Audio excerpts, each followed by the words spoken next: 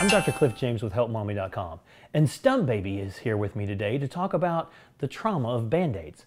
Life is hard. Your baby's going to have some pokes, some scrapes, some scratches, and some cuts that are going to require the use of a band aid. But a lot of times, the trauma of taking them off is worse than the actual injury. You're going to get lots of advice. Things like take it off fast, take it off slow, saturate it with some mineral oil and it will easily come off. Yeah, none of those work. But this is a hack that'll make your life easier. There's this stuff called Uni-Solve. You can find this on Amazon for less than $10 for a pack of 50.